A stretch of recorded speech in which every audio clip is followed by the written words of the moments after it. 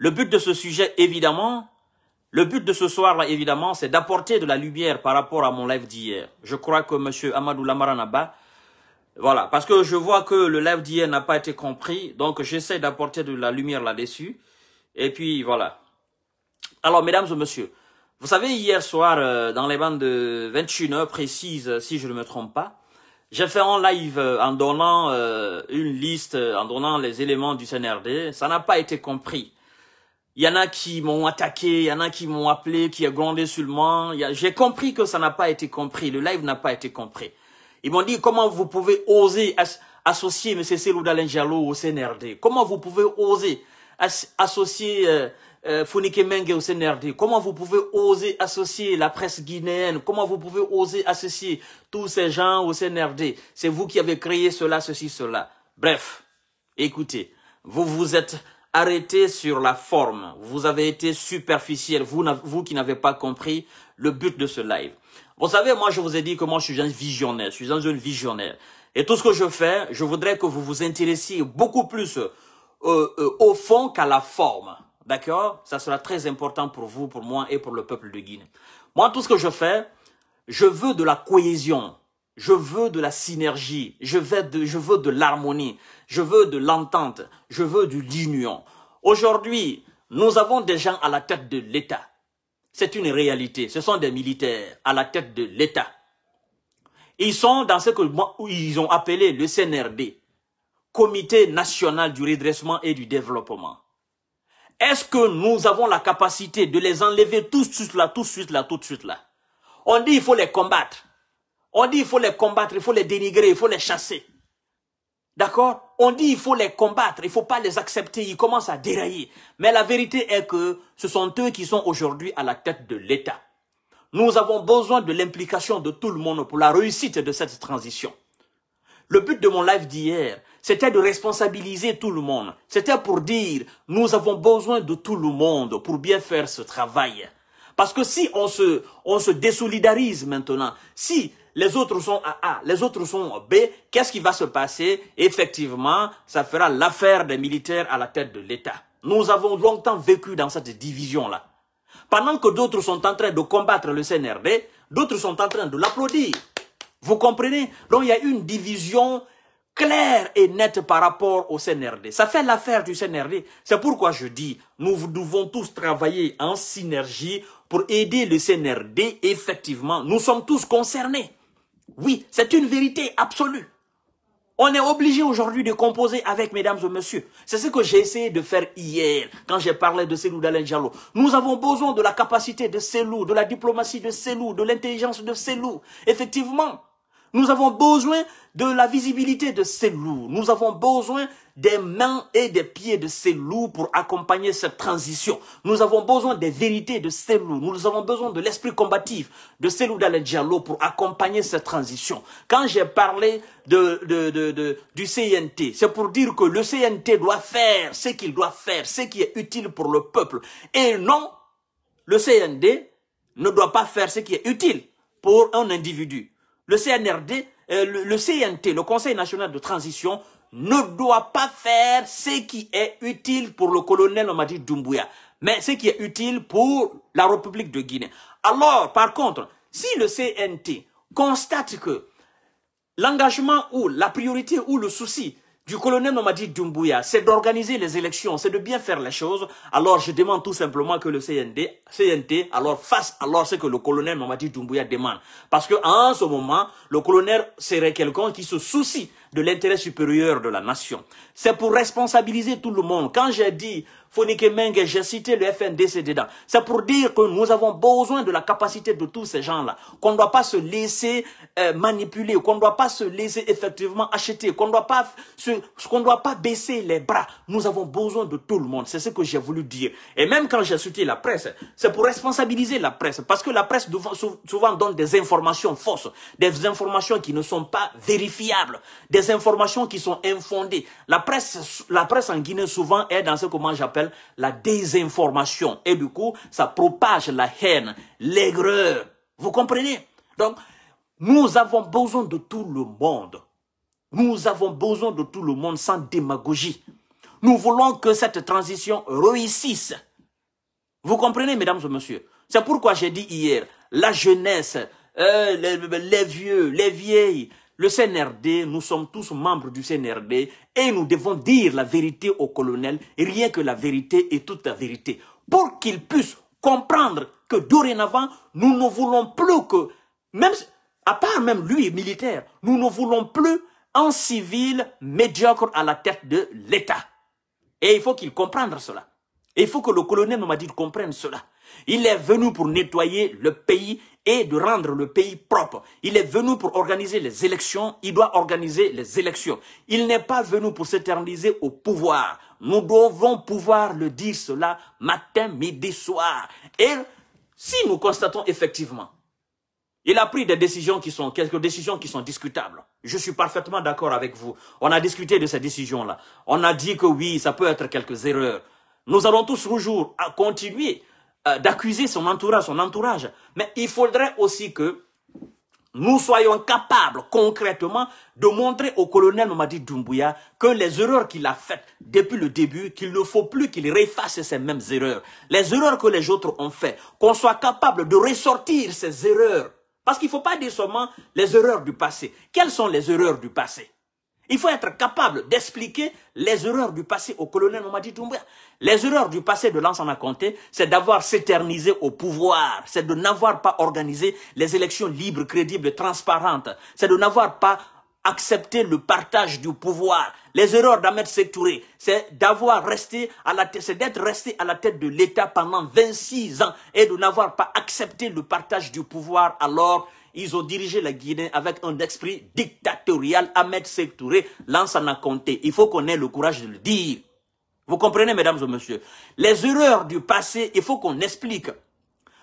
Sous le régime de Lansana Conté, il y a eu ce qu'on appelle le libertinage, la gabégie financière, l'injustice, l'inégalité, les arrestations arbitraires, la pagaille en un mot. Le pays a évolué dans ce que moi j'appelle l'anarchie totale. On n'a jamais appliqué la loi en République de Guinée. Ou souvent, on appliquait la loi quand il s'agissait d'un fort, un faible. Oh, on faisait des abus de pouvoir. Effectivement, c'est ce que vous devez comprendre. Ça, ce sont les erreurs du passé. Nous avons besoin maintenant l'application rigoureuse de la loi.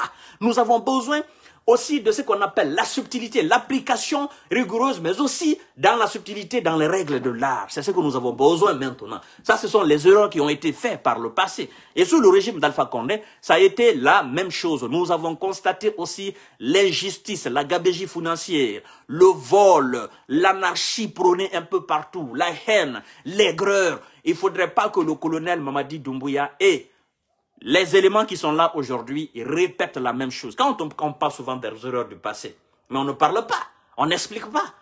On dit, bon, il le sait. Oui, il le sait, mais est-ce que quelqu'un a pris le temps d'expliquer? Les erreurs du passé que, que Dadis Kamara a fait, parce que Dadis Kamara, il est rentré dans la politique. Dadis Kamara est rentré dans la politique.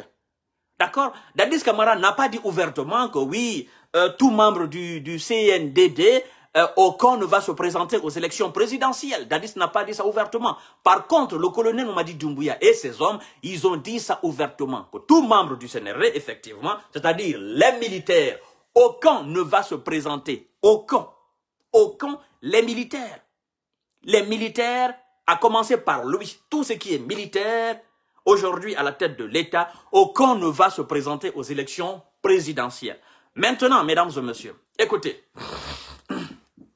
Je vais vous dire quelque chose. Vous allez comprendre ça terre à terre. On met de côté la décision de changer le nom de l'aéroport. On met de côté la décision de reprendre le domicile de Sidia de Selou Dalenjalo. Vous comprenez? Ces deux grandes décisions.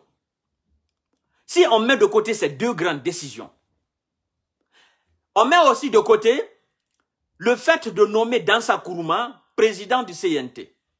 Ça fait combien de décisions? L'aéroport, domicile Sidia et Selou Dalenjalo, nomination de Dansa, ces quatre décisions-là. Je crois que c'est à cause de ces quatre décisions, les gens ont commencé à combattre le colonel Mamadi Doumbouya. Oui, à cause de ces quatre décisions. Il faut dire les choses telles qu'elles sont. Si on avait nommé quelqu'un d'autre à la, tête du, du CNT, hein, Si effectivement, le colonel n'avait pas changé le nom de l'aéroport, même s'il avait changé le nom de l'aéroport, s'il avait donné le nom à quelqu'un d'autre et, et mettre Amer Touré de côté, ça passerait. Effectivement. Si aujourd'hui, on avait récupéré tous les domaines de l'État et laissé le domaine Sidi Touré, le domaine Serouda Diallo, mais ça veut dire que ça passerait. On ne doit pas appliquer la loi avec deux poids, deux mesures. Quatre décisions qui fait aujourd'hui que on est en train de crier au nom du colonel Mamadi Doumbouya un peu partout sur la toile. Quatre décisions. Hein. Je dis bien quatre décisions. Surtout la décision qui fait que on dit que le colonel a déçu les gens, il est devenu mauvais. La décision, c'est l'aéroport et le domaine de Sidia et de Selouda Lenjalo. Disons les choses telles qu'elles sont. C'est la vérité, mesdames et messieurs. C'est la vérité. Et oui, on dit non, il ne doit pas faire cela. On dit non, c'est pas bon, il va nous voir. Depuis qu'on a touché le domicile de Sidia et de Selou, depuis qu'on a changé l'aéroport, les gens ont commencé à dire, le colonel, il a déconné. Il ne doit pas faire, c'est un demi sécouturé. C'est encore le régime d'Alpha Condé qui, continue de, gouverner la Guinée. C'est à cause de ces décisions. Maintenant, si on met ces décisions de côté, est-ce qu'on peut le combattre? Est-ce qu'on peut dire que le colonel nous a déçus si on met ces décisions de côté? C'est-à-dire que depuis l'arrivée du colonel Mwadi Doumbouya, depuis la chute d'Alpha Condé jusqu'à aujourd'hui, bon, Air Guinée, de toutes les façons, n'importe quel président pourrait faire euh, le, procès du Air Guinée, n'importe quel président, il pourrait le faire. Mais c'est justement les quatre décisions. L'aéroport dans Sakuruma et, euh, comment dirais-je, euh, domicile Sidia et, et, Serouda D'accord? C'est à cause de ces décisions-là. Alors, parmi toutes les décisions que le colonel a prises, a pris du moins depuis le 5 septembre jusqu'à aujourd'hui, c'est-à-dire la décision de déloger Alpha Condé, toutes les décisions qu'il a prises jusqu'à aujourd'hui, toutes les décisions sont bonnes aux yeux du Guinéen. Mais les, les quatre décisions-là, c'est ce qui fait du colonel le mauvais. Oui, c'est ce qui fait de lui le mauvais. C'est la vérité, mesdames et messieurs. Il faut qu'on accepte la vérité. Oui, il faut qu'on accepte la vérité. Dans ça, oui, oui, il faut qu'on accepte la vérité. Quoi qu'on dise, c'est cela. Vous allez demander quelqu'un aujourd'hui, pourquoi vous êtes déçu du colonel Nwadi Doumbouya? Il va dire, bon, moi, depuis qu'il a pris... Vous avez vu, la fois dernière, j'ai organisé un débat ici. J'ai entendu les gens. Les 90% qui ont dit qu'ils sont déçus du colonel Nwadi Doumbouya, par rapport, ils ont dit par rapport à l'aéroport, dans Sakuruma, d'accord? Et, domicile de Selouda Lendialo et de Sidi Touré. Effectivement, oui. Donc c'est comme si, quand, si vous retirez ces, décisions dans les choix du colonel Mamadi Doumbouya, eux, ils n'ont plus autre chose pour le critiquer et pour dire je suis déçu du colonel. Mais comme c'est fait, c'est fait, on doit faire avec. Et ce que vous devez comprendre, mesdames et messieurs, je vais vous dire quelque chose aux terre terre. Ceux qui savent ce que c'est que l'administration, ceux qui connaissent le fonctionnement de l'administration. L'administration ou, effectivement, l'administration peut parfois prendre des décisions contre les administrés et appliquer effectivement ces décisions sans même le consentement des administrés. Et vous êtes obligé d'accepter. Oui. Mais quand c'est abusé, ça devient ce qu'on appelle l'abus du pouvoir. Les administrés peuvent contester.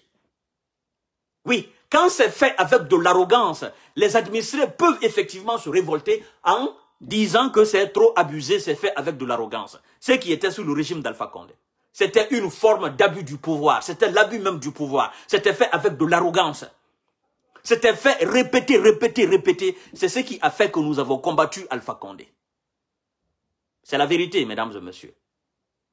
Donc, moi je dis, c'est pourquoi j'ai dit hier, nous avons besoin de tout le monde pour aller de l'avant.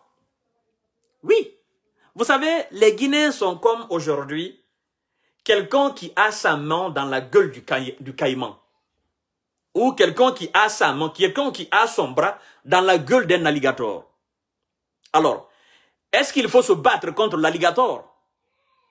Et l'alligator qui est tout près d'un fleuve.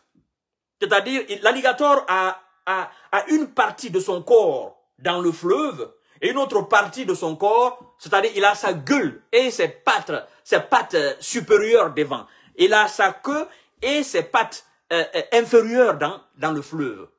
Et vous, vous avez votre main ou bien vous avez votre pied dans la gueule de cet alligator. Qu'est-ce que vous devez faire? Est-ce qu'il faut caresser la, la tête de l'alligator afin de retirer votre pied? Ou bien il faut se combattre, il faut se battre contre l'alligator? Vous avez plus intérêt à caresser la tête de l'alligator, l'alligator, afin qu'il lâche votre pied, pour que vous preniez effectivement la fuite. Mais si vous vous battez contre l'alligator, il risque de vous envoyer, de vous tirer encore sous l'eau. Et lui, il a une capacité forte de vous maintenir sous l'eau, de vous noyer. Vous comprenez, mesdames et messieurs? Alors, caressons la tête de l'alligator afin qu'il laisse notre bras ou notre pied qui est dans sa gueule. Comme ça, on saura faire quelque chose de bon. Je veux dire quoi par là? Allons mollo mollo avec ces militaires-là. Qu'ils organisent les élections et qu'ils quittent à la tête de l'État. Qu'on ait un civil à la tête de l'État. Et puis, nous allons voir ce civil. Parce que c'est ce que nous avons dit en 2010. Oh non, il faut combattre les militaires, on les a combattus. On a vu un civil. Moi, en tout cas, ce que je souhaite aujourd'hui, nous sommes en train de combattre le CNRD. Nous sommes en train de combattre. Nous sommes en train de dire toutes les vérités du monde entier au colonel Mamadi Doumbouya.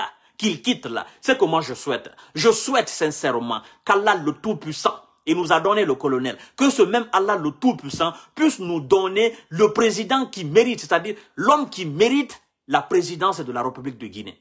Un expérimenté, un patriote, un travailleur, un visionnaire, quelqu'un qui serait soucié, effectivement, qui va s'en soucier de hein, de, de l'avenir de la République de Guinée, du président de la République de Guinée. Quelqu'un qui va se battre, quelqu'un qui mettra, qui mettra effectivement son énergie au profit de l'intérêt supérieur de la nation et non quelqu'un qui va s'enrichir. C'est mon souhait aujourd'hui.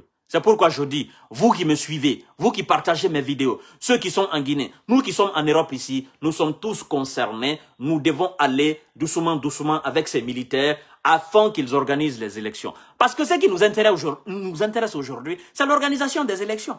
On s'en fout du, du, travail que le colonel m'a dit en train de faire. C'est ça le problème aussi. On s'en fout de cette traque des fossoyeurs de l'État que le colonel a entamé. Nous, on s'en fout de ça. Nous, on dit l'élection. L'élection, oh l'élection. L'élection, oh l'élection.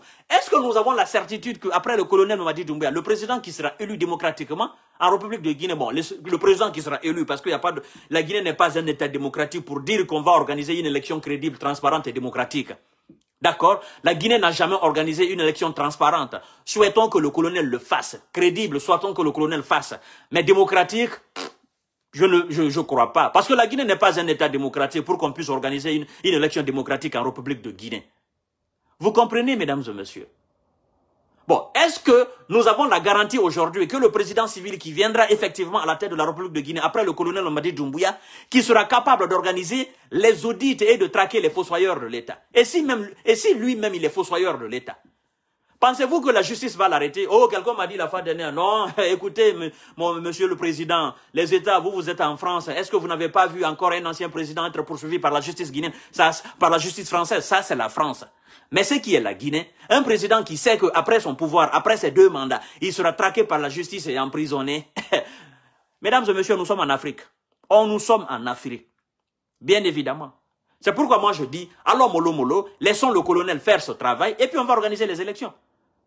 Un Sidi Touré qui sait que oui, oh voilà, on a fait l'audit, la gestion de 1996 à 2000, il y a eu du vol, il y a eu de lapidation du fonds, tant, tant, tant, tant, tant, tant. Bon, monsieur Sidi Touré, vous avez l'autre dossier qui est là. Après la présidence, vous serez directement traduit devant la juridiction guinéenne. Et puis, qui sait, vous irez, vous irez en prison. Vous pensez que monsieur Sidi Touré, il va accepter cela? Un Selou Diallo qui sait qu'il a son nom suité dans quelques dossiers. Oh non, monsieur Selou vous êtes aujourd'hui à la tête de la République de Guinée. Et après votre présidence, nous avons trouvé, nous avons des éléments contre vous. Après votre présidence, on va vous traduire devant la justice guinéenne. Et puis, on va vous emprisonner. Qui sait? Mesdames et messieurs, ça deviendra difficile, difficile. Il faut que je sois honnête avec vous. Et vous-même, vous le savez bien. Un Africain à la tête de l'État. On a fait l'audit de sa gestion antérieure d'accord, de sa passée. On a trouvé qu'il a volé de l'argent. Et c'est lui aujourd'hui le président de la République. Qui vous dit même qu'il ne va pas dissoudre même cette CRIEF-là aujourd'hui? Qui vous dit qu'il ne va pas peser de tout son poids sur la, même sur, la justice pour dire, dites au peuple que vous n'avez absolument rien contre moi? C'est compliqué chez nous. Et c'est compliqué de dire la vérité. Vous dites cela, les gens vous traitent de vendus, de ceci. Moi, c'est pas mon problème. Je veux simplement que vous compreniez et que vous entendiez. Parce que ce que je suis en train de dire, toutes mes vidéos sont installées aujourd'hui dans une base de données. Et je vais ressortir chaque fois mes vidéos. Quand on aura un président civil à la tête de l'État, je ne souhaite même pas que ce moment me trouve sur les réseaux sociaux. Non, je souhaite que ce moment me trouve euh, effectivement dans une autre dimension. Même si je vais parler sur les réseaux sociaux, mais que ça soit dans un cadre un peu, voilà, beaucoup plus, euh, beaucoup plus haut, quoi. Vous comprenez? Mais souvenez-vous, souvenez-vous. Et je voudrais que vous soyez honnête, sincère envers vous-même. Je ne voudrais pas que demain ou après-demain, qu'on ait un civil à la tête de l'État et que ce civil-là commence à mal faire les choses et que vous qui êtes là aujourd'hui à dire chassons les militaires, chassons les militaires, vous commencez encore à dire ah non, on préférait même le colonel Mamadi Doumbouya. J'ai entendu même quelques brebis égarés dire Monsieur Kanté, il nous faut un Toumba Djakité pour éliminer le colonel. Je dis waouh, waouh. Et vous qui condamnez Toumba Djakité, parce qu'il a son nom dans le dossier du 28 septembre. C'est vous qui demandez encore un autre Toumba Diakité contre le colonel Mwadi Doumbouya. Alors, au final, qu'est-ce que vous voulez, Guinéens On dit non, nous avons besoin d'un Toumba Diakité pour renverser le colonel Mwadi Doumbouya. Je dis, mais c'est quoi le problème des Guinéens? Qu'est-ce qui ne va pas dans la tête du Guinéen Qu'est-ce qui ne va pas au juste? Comment le Guinéen réfléchit? Oh non, il nous faut un autre militaire téméraire pour enlever ce colonel. Il y en a qui l'insultent même. Il y en a qui... Non, je ne comprends pas, mesdames et messieurs.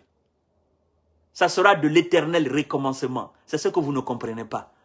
Parce qu'un autre militaire qui viendra renverser le colonel Mamadi Doumbouya, il fera encore d'autres victimes. On ira de victime en victime, de victime en victime. Parce que c'est lui qui viendra s'attaquer au colonel Mamadi Doumbouya. Il va, il va combattre. Il va combattre. Et le colonel, il est là avec ses hommes. Il ne va pas se laisser faire. Ils ne vont pas se laisser faire. On ira de victime en victime.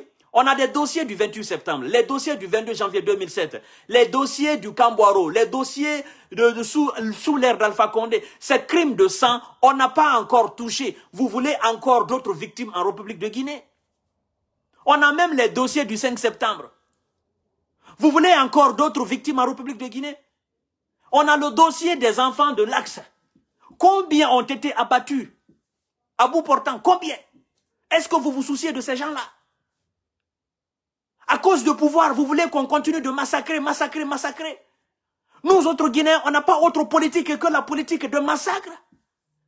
On n'a pas autre politique, on n'a pas autre stratégie que de se massacrer entre nous. Frères et sœurs, je pense que la politique, c'est pas cela. La politique, c'est la diplomatie. La politique, c'est autre chose. Et c'est lui qui viendra renverser le colonel Mamadi Doumbouya. Il va le renverser avec ses hommes. Et après, il va changer le gouvernement. On va encore attendre que ce dernier compose un nouveau gouvernement. Et que ce dernier change complètement tout ce qui a été nommé par le colonel Mamadi Doumbouya. Parce qu'en Guinée, chacun, celui qui vient, il vient avec ses hommes. Même demain, si nous vient président, il viendra avec ses hommes. Vous comprenez? Ça, c'est obligé. Alors nous allons encore reconstituer un autre CNT, Conseil national de transition. Ou peut-être ce dernier ne voudra même pas Conseil national de transition. On va tourner en rond. C'est pourquoi je vous dis, nous avons besoin de travailler en synergie pour qu'on puisse aller de l'avant. La solution, c'est d'interpeller la conscience patriotique du colonel Mamadi Doumbouya. La solution, c'est d'éveiller la conscience du colonel Mamadi Doumbouya. La solution, c'est de dire au colonel Mamadi Doumbouya ce qui est, utile pour le peuple de Guinée. Et c'est de dire au colonel Mamadi Doumbouya de faire ce qui est utile pour le peuple de Guinée, de se battre pour l'intérêt supérieur de la nation. La solution, c'est de dire au colonel Mamadi Doumbouya, s'il vous plaît, évitez telle personne, telle personne, évitez tel conseil, tel conseil, s'il vous plaît, évitez tel acte, tel acte, tel acte. C'est ce qui est la solution, mesdames et messieurs. Vous comprenez? Ben, écoutez, les amis, quoi qu'on dise, il y aura toujours des Guinéens qui ont autre pensée. Alors, je ne vais pas me focaliser sur ça. On va répéter parce qu'on ne va pas se fatiguer. On va répéter, répéter, répéter. Alors, les amis, écoutez bien. Partagez au maximum la vidéo. Je ne vais, plus durer, je ne vais plus prendre, euh, abuser de votre temps, ce que je veux dire. Alors, nous avons vu je dis, j'ai posé une question. Est-ce que Tibou Kamara, est-ce que c'est vrai que M. Tibou Kamara, l'un des hommes forts de la présidence d'Alpha euh, de, Condé, est placé sous contrôle judiciaire Est-ce que c'est vrai? Je n'ai pas encore l'information réelle. Je l'ai placé, j'ai posé une question. Est-ce que c'est vrai? Si c'est vrai, je dis, c'est un bon boulot que le colonel est en train de faire. Si c'est vrai. Parce que nous sommes tous conscients. Il n'y a pas un Guinéen ici sous le régime d'Alpha Condé. Surtout, nous qui étions opposés, au régime d'Alpha Condé. Il n'y a pas quelqu'un d'entre entre nous qui n'a pas combattu Tibou, Kamara. Il n'y en a pas. À moins que vous soyez aujourd'hui hypocrite.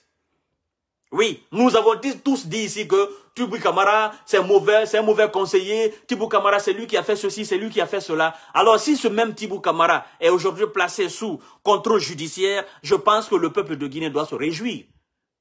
Se réjouir, non pas parce qu'on a arrêté un père de famille, se réjouir, mais plutôt on a arrêté quelqu'un qui a occupé un poste dans l'administration guinéenne et qui a été peut-être mal fait quelque part.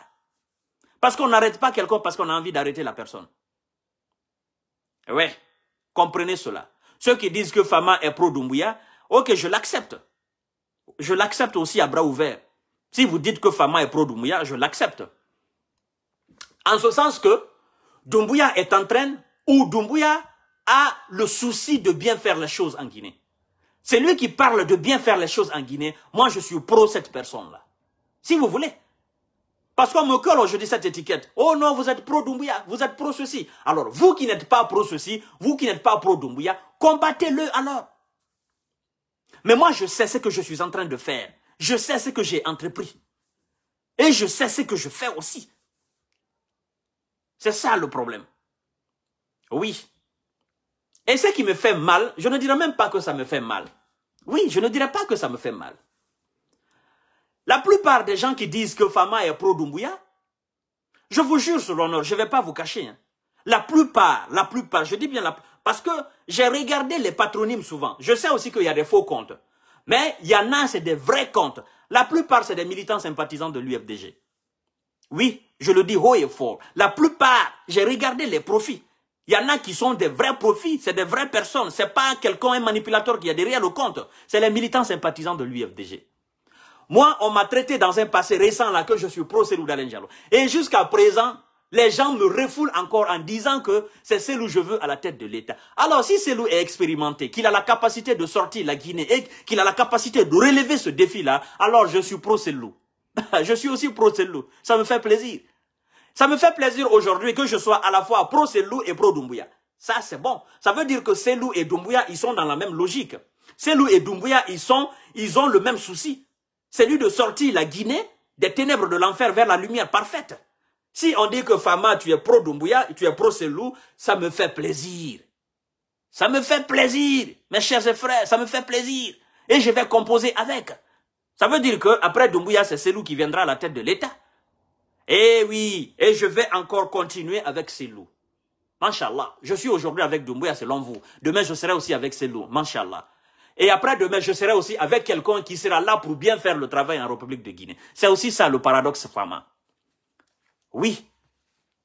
Oui, vous voulez que forcer, il faut que Fama critique Doumbouya. Même si Fama n'a pas d'éléments concrets pour critiquer Doumbouya. Mais comme vous, vous voulez là, il faut que moi je le fasse. Moi, je ne fonctionne pas comme ça. Je ne suis pas, une machine qu'on débat et puis voilà, qu'on engage pour voyager. Je ne, suis pas je ne suis pas une machine. Je suis un homme qui réfléchit avant de faire les choses. Comprenez cela.